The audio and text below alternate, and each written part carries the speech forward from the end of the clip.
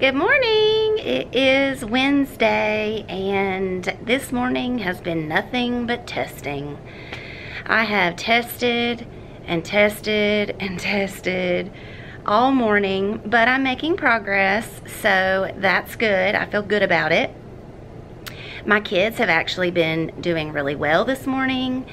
I have started my morning meeting the last couple of days with growth mindset videos just to kind of get them thinking about their attitude and pushing forward and doing their best and not giving up because it is May and a lot of my kids, you know, are ready for summer. They're ready to be done with school.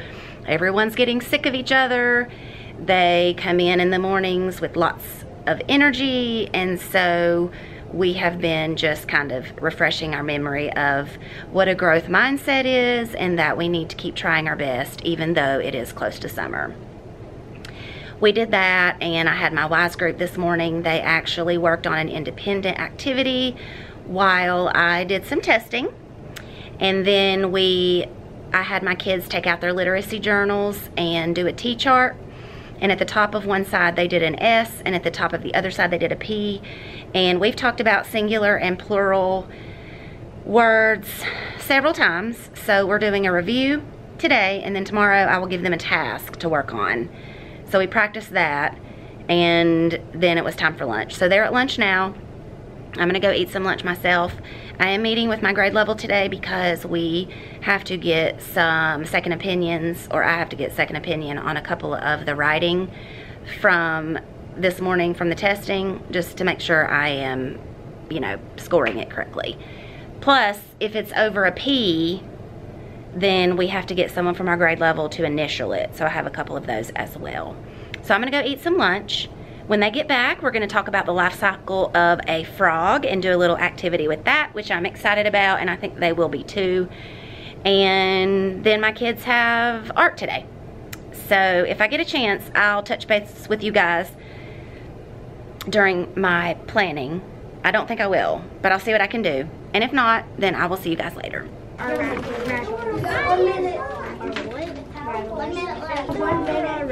I'm just looking at your pretty coloring. How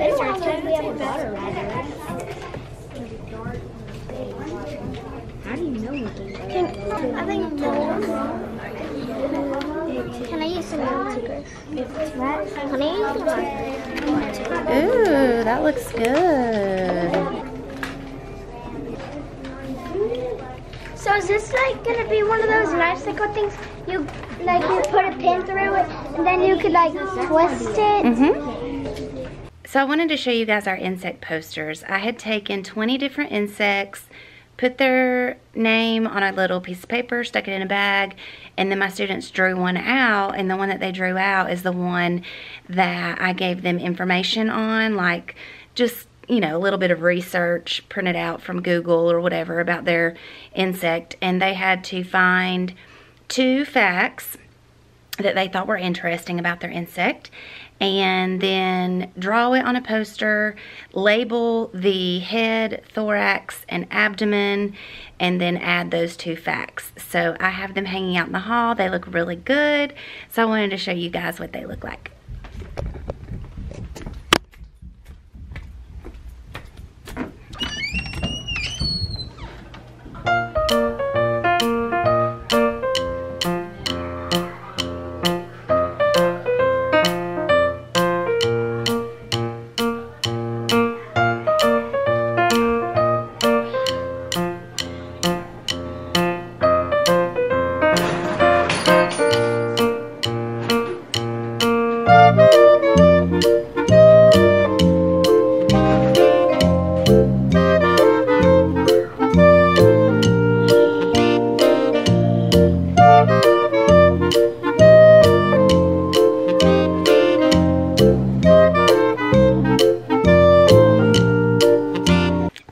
I'm ready to leave. I have a sub tomorrow because I'm going on the field trip with the first graders and Paisley tomorrow, which I was just telling the custodian that I've never been on a field trip where I wasn't the teacher, so that's going to be kind of nice. I'm excited. Her class is going to the Arboretum, and so I have a sub. My principal said that it was fine that I got a sub so that I could go on her trip with her. So, I'm going to show you my sub plans. So I leave this basket and on top I have some pencils and some sticky notes and then all of my sub information. So like need to know, potential drills. Um, we're collecting field trip money right now, our morning routine, uh, things kids do when they come in, and then this is where we kind of start our day. So we have our morning meeting literacy blog. I usually do rotations for that, but just to keep things simple when I have a sub, I just have everybody doing the same thing. So read to self for 15 minutes, writing for 15 minutes, read to someone for 15 minutes, and then they do a whole group lesson for 30 minutes. And then we have our small group, and then lunch, science, PE, math, recess, math intervention groups, pack up dismissal. And then and then down here at the bottom I have a little section for my sub to let me know which students went above and beyond and which students I need to have a talk with. And then just a blank sheet for some other comments. Then I have my seating chart which I think I showed you guys before and then some collection envelopes. Okay, I got your there. chart. And then I have everything in this basket in the order that they do it. So I have their Scholastic News with their pages in there. I have books and worksheets for my independent group.